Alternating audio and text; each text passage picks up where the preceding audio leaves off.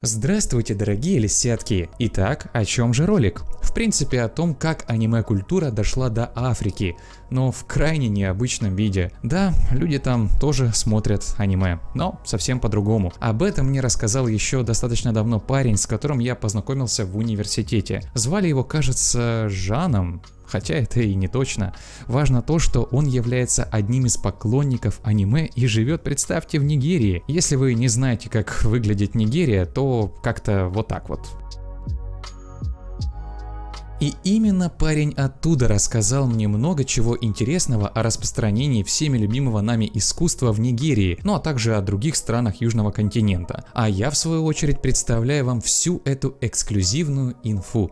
Так что погнали. Много ли в Африке поклонников аниме? Как мне сообщил Жан, как таковых ярых поклонников аниме там нет. Проблема как минимум Нигерии заключается в том, что люди там в большинстве своем смотрят то, до чего дотягивается рука. Интернет есть далеко не у всех, да и то он там достаточно дорогой, потому общество фактически скачивает быстренько то, что можно, а затем уже смотрит. Также на прилавках городов есть разные DVD, а в отдельных случаях даже кассеты. Там есть и аниме, и фильмы, мультфильмы и много прочего всякого. Собственно, по этой причине люди пока еще не воспринимают аниме как отдельную культуру. Для них это скорее что-то вроде прикольных мультов, которые классно посмотреть с друзьями. Потому, как мне сообщил Жан, в привычном смысле поклонников аниме, которых можно наблюдать на территории Европы или Азии, в Африке нет. Но есть люди, которым этот жанр определенно нравится. Однако, как сообщил мне мой южный товарищ, он не видит пока будущего аниме в Африке. Причины для некоторых людей людей будут банальны и очевидны. У африканцев слабый доступ к мировой сети, плохо распространяются диски и кассеты, да и многие загружены тяжким трудом так, что им не до каких-то фэндомов и тонкостей. Еще проблему усугубляет пиратство. Фактически у производителей аниме нет резону спонсировать свои творения в большинстве стран Африки, поскольку тайтлы туда доходят совсем неофициально, а из-под полы. Конечно, причин есть куда как больше, почему аниме не особо распространяется в Африке, но мы упомянули основные. Не затрагивала особо Жан только ситуацию в деревнях Нигерии и Африки в целом. По его словам, проблемы там настолько печальные, что не во всех таких населенных пунктах электричество есть, не то что телевидение. Так что вот такая вот ситуация.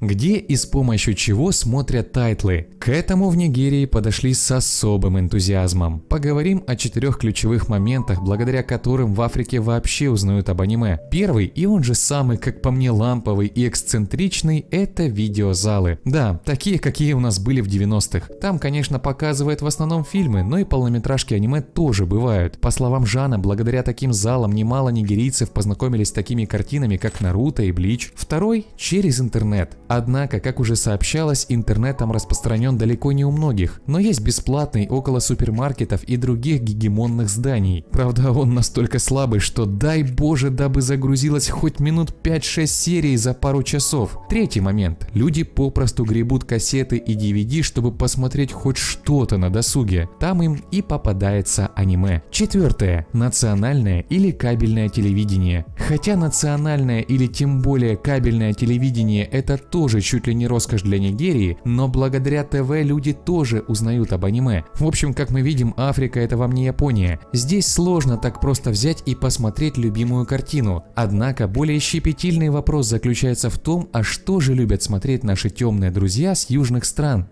Какие же аниме популярны там? Пожалуй, на этом вопросе Жан посыпался. И его можно понять. Проблема в том, что люди там смотрят столько всего и разного из попадающегося им под руку, что сразу выделить ключевых фаворитов будет сложно. Впрочем, по субъективному мнению Жана, распространены в Африке достаточно устаревшие аниме. Как он мне объяснил, в данном вопросе тоже есть соответствующие причины. Первое, старое аниме скоммуниздить и спиратить легче, чем новинки. Ведь достать старье не представляется чем-то сложным, а свежие картины еще только стоит поискать. Второе. Пираты Африки ищут то, что уже стало популярным среди всех комьюнити. Но чтобы аниме стало популярным, что нужно? Правильно, время. Иногда 5, иногда 10, а иногда и 20-30 лет, если говорить о классике. Поэтому не удивляйтесь, что я буду сейчас называть те тайтлы, которые вам будут не особо знакомы. По мнению Жана, в Африке достаточно популярен Dragon Ball. Да-да, тот самый, который в Азии и в Европе люди смотрели еще лет 25-30 назад. Конечно же, на этом фоне не уступает ему и Наруто. Правда, вот Жан не уверен, что его многие соотечественники в курсе о существовании Шипудена или тем более Боруто. Внезапно выделяется и Бакуган, которого лично я видел только краем глаза лет 10-12 назад. Правда, опять же, вся эта инфа, так сказать, притянута за уши, поскольку точной фиксации нет, а Жан только по своему мнению назвал данные картины. Что ж, будем надеяться, что он прав.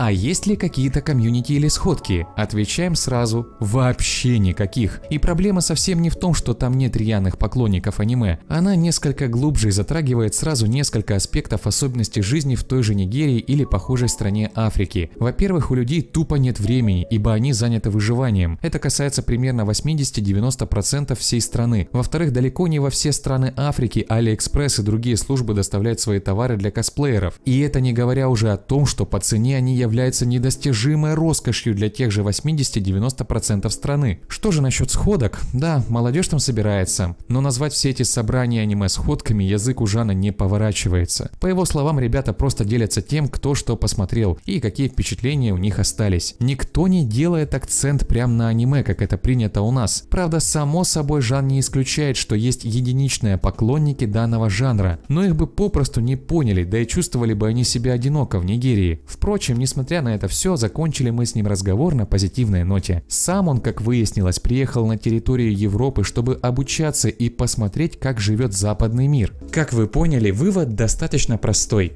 Да, в Африке смотрят аниме, но совсем не так, как мы. Все же хочется надеяться, что Жан окажется прав и люди получат достойную жизнь. Ведь представьте, как будет прикольно, если в той же Нигерии начнут создавать аниме, но уже в своей культурно-эстетической атмосфере. Кстати, за кинематограф они уже взялись и вышло вот как-то так.